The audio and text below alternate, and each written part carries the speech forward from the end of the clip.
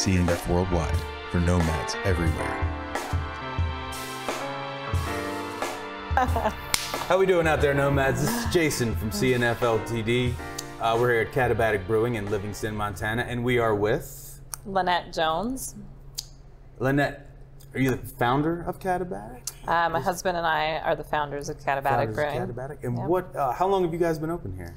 Almost five years, about four and a half. Five years. Wow. Okay. So, and are you natives to the Livingston area, or did you move? No, we are native Montanans, but not. We moved here to open the brewery. Oh, fantastic. And uh, so to get into the the brewery side of things first, um, why brewing? Why why open Katabatic? Well, but Bryce and I were both looking for sort of the next thing to do. We both had careers for quite a while. Um, I was a social worker for a long time, and Bryce was a uh, wildland firefighter, Oh, smoke wow. jumper. And so we were just kind of both trying to just try something new. And we love breweries, and we used to talk about all the things we wanted to maybe try and do while we were in breweries. And then one day we thought, well, could we open a brewery? So we looked into it, and here we are. And what was that process like opening the brewery? I know one of the biggest thing, obviously, funding. And then, so were you guys self-funded? Did you have to get some loans in order to open the operation? Or? We have some loans, and we have a few investors, and then Bryce and I's uh, contribution to it as well. And uh, we actually went to my husband went to the Siebel Institute's course on how to start your own brewery. Oh, excellent, excellent. which was a fantastic course and it really just gave that foundation for the structure and infrastructure of what we you know needed to start working on if we wanted to do this And then, how was the? Uh, I guess from the day you decided, okay, we're going to do this, until the doors actually, you know, were pushed open to the public. so after the that? course i would say the course was kind of the impetus behind like yeah i think we can do this um, until the doors opened it was close to three years Three years. Okay. Yes. Wow. yes And then in that time period, I mean, the, the I don't want to say growing pains, but just, you know, the learning curve for going, okay, like we did the course and everything, but then actually jumping in. Yep. And it was the business plan and Right. uh, yeah getting finding the investors and getting that whole process together which is a, a lot so that was the hardest part i think once we opened the doors um, it's, it's definitely still challenging and it's difficult but it the process of putting the financials together getting all the uh, legal documents together for shareholders, um, getting our brewing license, just that whole like structure of and process and paperwork and yeah. You say paperwork, that's actually directly into the next question. Regulatory, uh, just different hurdles and things in the state of Montana. How are they, as far as, I don't want to say self-explanatory, but is it easy process to follow? A lot of hurdles and red tape, or was it fairly easy? Um, I mean, it's the application's fairly uh, com- complete as far as how it lines it out and what you need to submit. And then after you submit items, the state does get in contact with you about additional questions and additional documents that it needs and things like that. So I think because we're, I mean, we're a large state, but we have very few people. Um, and at the time, we only had probably about 40 something breweries. Okay. And wow. so I do feel like during that, t- I don't know what it's like now at 80 something breweries, um, but at that time it, it did feel like they were, you know, helping us be success- successful. And then, so once the uh, the doors are open, how did the community respond? Really well. Um, I think, you know, at first, be coming into a small town, everybody kind of wants to know who you are and what you're about and what that's what's going on. And you know, I think we just open the doors in in such a way that we're kind of a community center. Um, we offer so many things here for the community to do. Um, it's ongoing, even outside of Craft Beer Week that we're in right now. And so I think that the community just really saw that, liked it, and has just been really big supporters. Um, we also sold mugs and steins. So we have a Mug Club membership and a Golden Stein membership. Awesome. And so a lot of people have invested themselves in this brewery. It's a lifetime membership, and it's sort of their investment in us and in this community. Best business card you can have is a satisfied The customer. customer. Right? it's, it's interesting you bring up the community center part because literally, as recently as yesterday, when we were in Rapid City speaking with Miner, um, all the way back to the Eastern Shore of Maryland and Columbus, Ohio, where we've been recently, that's something that's repeated over and over again by the brewers, where uh, the things we hear are you. We don't. This isn't a place where you come and you know drink to excess. You don't come here to get hammered or anything like that. We want to be a place where you can have your kids here, your grandparents come here. It's a nice place to just sit, relax, enjoy some beers, yep. and that's where it stops. You don't come here. It's not a party atmosphere. You're not No. going crazy. No, and in Montana, you can only have three beers per person every 48 hours. Really? So we don't have a we have a manufacturing license, and in that license to manufacture beer, we're allowed to serve 48 ounces per person per day in our sample room, which is what you're in right now. This- right now. Um, but it's become, because, and I think too, you know, our last call is at 8 p.m. And so because it's at 8 p.m., it's, it creates that family friendly environment. It creates that, and because you can only have three beers, it, it even makes that more so here in the state. And at first, when that law kind of came about, because for a while you could only manufacture beer, you couldn't have a tap room. So in 1999, the state of Montana allowed tap rooms and that, that law of uh, 48 ounces per person. And, you know, when it first came about, people were like, well, how's that a good business model? How's that going to work? And it just, because it's breweries, you know, historically, even in the state of Montana and I think in the nation, were very much based in communities. Um, it sort of kind of reenacted that same feeling and that same uh, idea for communities and it just became it's just become a very successful business model we've all made it work and we've figured out how to um, only serve till 8 p.m only serve three beers per person and still be viable businesses That's very impressive. And there's battles state by state across the country about because I know, you know, I'm not going to name drop any of the brewers so they don't get in trouble. But in New Jersey, insane amount of regulation, insanely strong distribution lobby that impedes tap room expansion and hours and things like that. So it's nice to hear at least Montana is well we still have the same challenges same- i mean little, we a little bit of the same. breweries would like to be open longer. We would like the option to have a brew pub license that allows us to serve beer and wine. Um, so we would like some of those things, and we, we have the same hurdles and the same challenges. And a lot of that is, you know, after Prohibition, the three tier system was uh, developed for those checks and balances.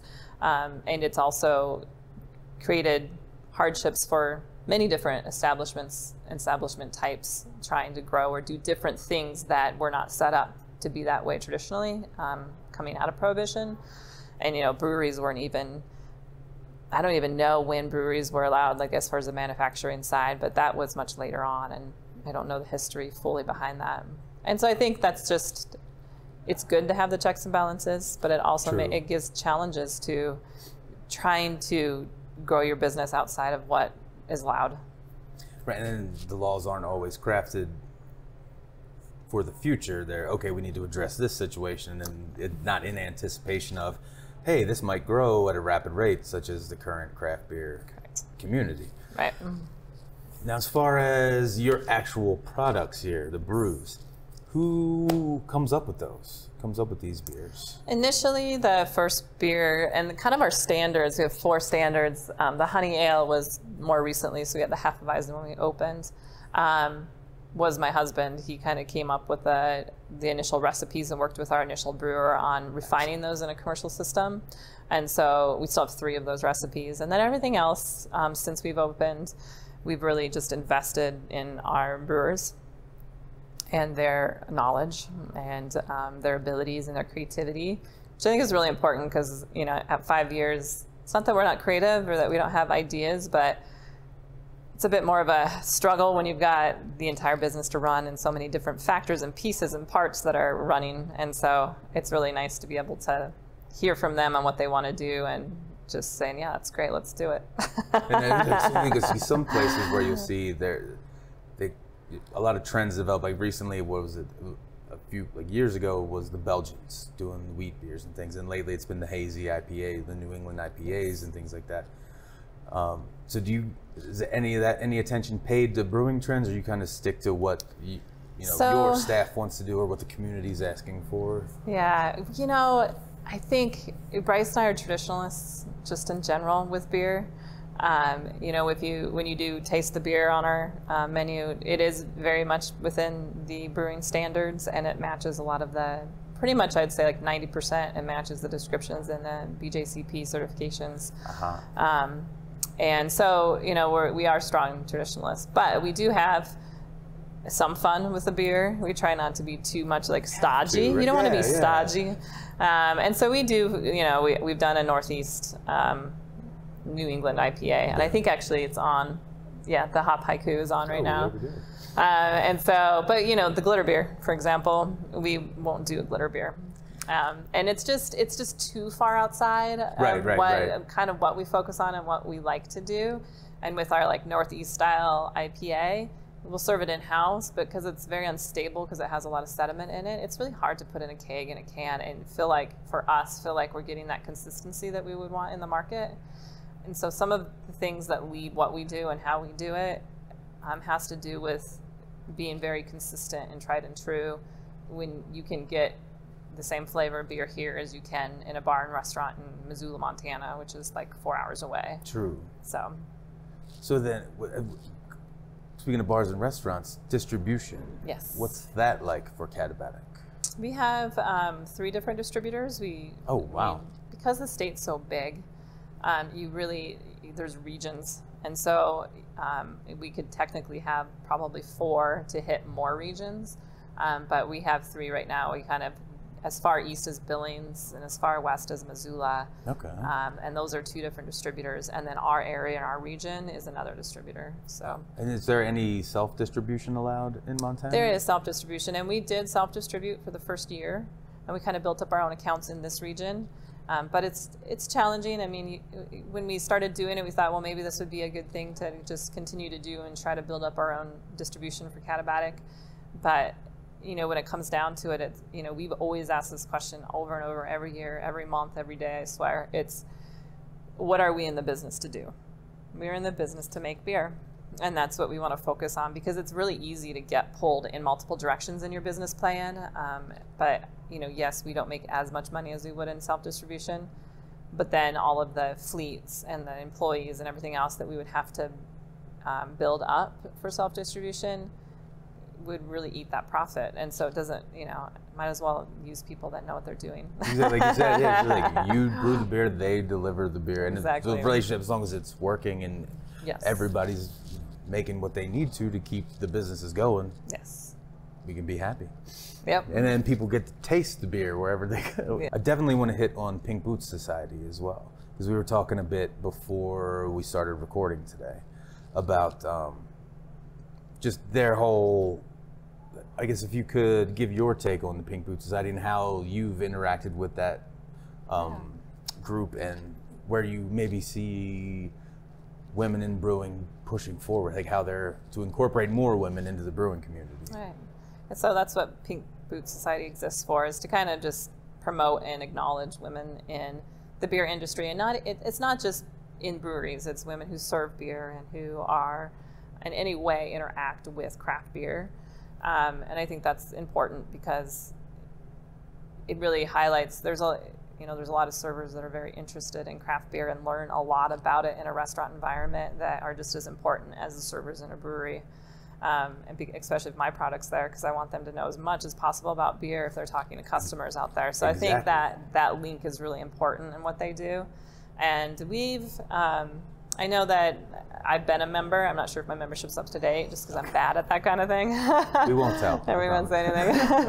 um, I believe Sarah, our taproom manager, is a member as well. And we've worked with Philipsburg Brewing Company to um, brew a beer for the state, Pink Boot Society for the state. Awesome. And um, awesome, awesome. I think, I believe that Sarah did one with uh, Beer Maven, who you're going to be talking with later today, Yes. um, Loy, as well, um, over in Bozeman.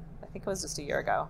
And so, Oh, cool. you know, we try to send, we wouldn't mind hosting one, um, but it's just, we have such a small facility and Right. we're always brewing or filtering or just you know, getting beer out to distributors. that it's really hard to open up our calendar for that special beer. Um, but one of these days, we definitely want to do that. It's not a question of if you want to; it's when It's can when, when it's can the it timing happen? on it. Right. So yeah. now, for people who may not have been to Katabatic or are thinking about coming through Livingston, which you absolutely should, um, of your standards, so we got four standards here: the Tippy Truck Honey, Katabatic Scotch Ale, a Pale Ale, and an IPA.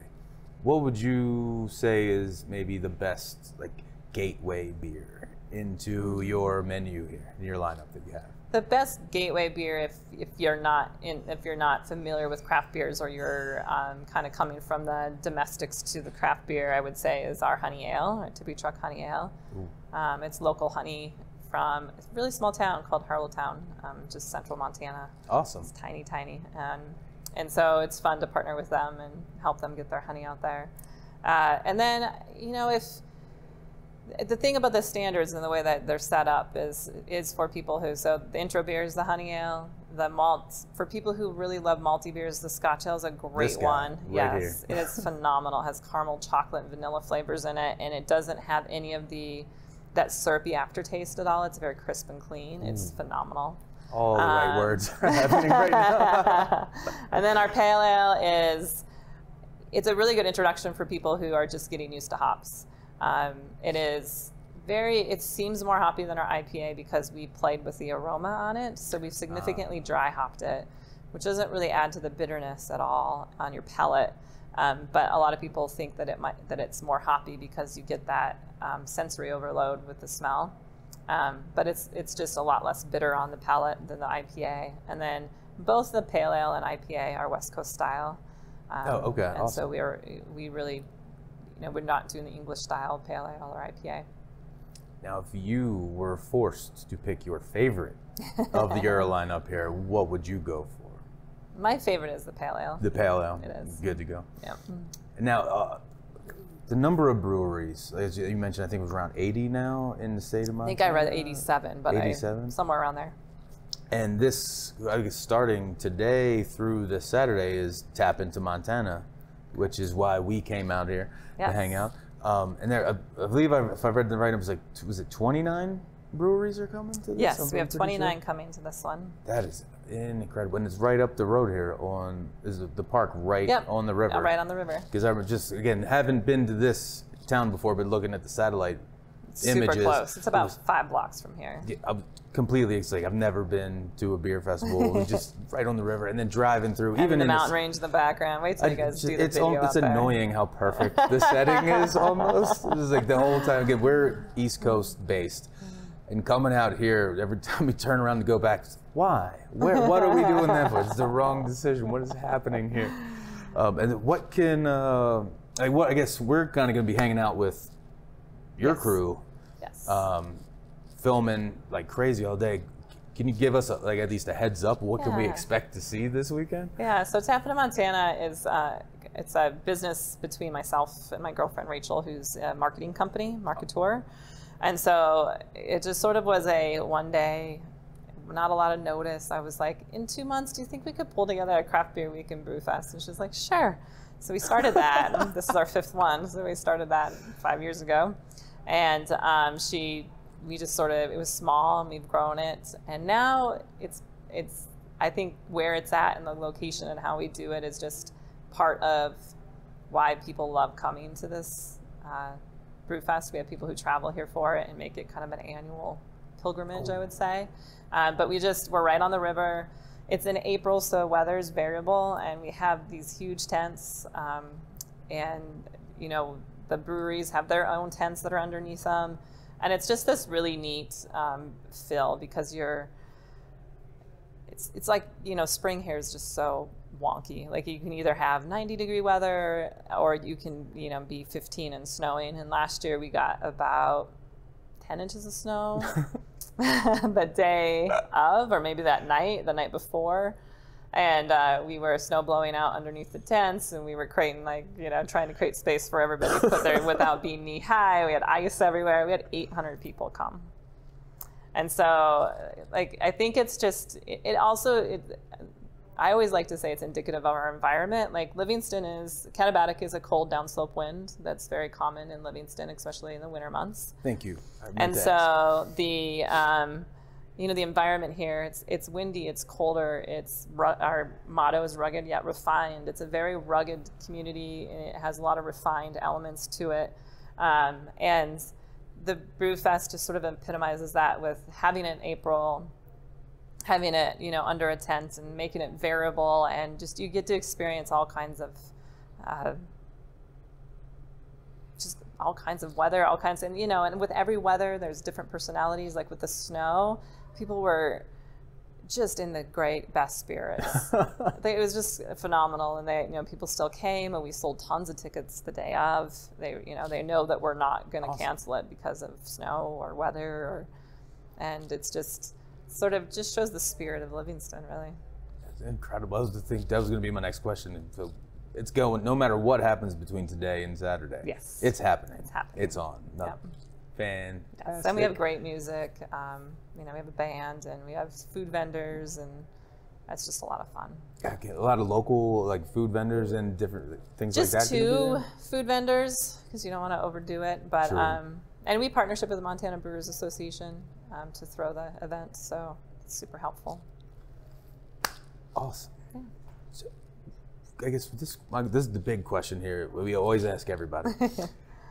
For people who haven't been here or are thinking maybe they want to come check out just Montana in general, especially if we're so close to Yellowstone, and the scenery out here is gorgeous. We just we drove in in a snowstorm today from Sheridan, and it was still beautiful, even though you know there's puddles of slush everywhere on the highway. it was still amazing to see. But if you could give a, you know just a word, words of wisdom, or just something to motivate somebody, if you're thinking about coming here, to go to take the leap and do it, what would you what would you say to them? I think the great thing about the state is that there's it's so varied from the east all the way to the west, which could take up to 15 hours to travel through in one day. Um, and I think even for people like the outdoors, obviously, is the the biggest motivator for a lot of people who come out here. But I would challenge people who even don't like the outdoors to come and enjoy our towns because the towns here have so much to offer. Um, and you don't have to be enthusiastic about hiking or the river or anything like that. You can take in the views and you can take in the scenery. Um, and every town has something unique and different about it. And I think that that's, I mean, I've lived in probably five or six different towns in Montana and I'm from here. But, you know, it's just everything, every, every town has an identity and it's pretty cool. And the breweries in those towns really reflect that identity. So I think it's really cool to just, just come. Don't worry about what you, if you fit into that outdoor persona or not. You don't have to. And the people here are just so friendly that if you want to know where the where a cool hiking trail or a great thing to do is, they'll let you know that. And if you want to know where a really great place that you have to see in town is, they'll let you know that too.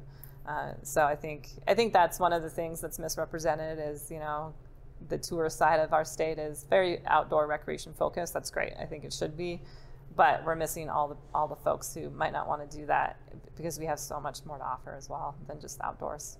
So, for all you listeners and viewers out there, there is no excuse. There really, isn't. just whatever you like to do. You want to be in town. You want to be out in the wilderness, away from, far away from any town. Montana has what you need. They have great food, great views, and great breweries. Yes. So we strongly urge you, take the leap, come visit Montana, come to Livingston, check out Katabatic, which is a gorgeous tap room, which we'll be filming shortly. and LaNette, thank you so much you. for allowing us to come here and letting us hang out with you for the next few days.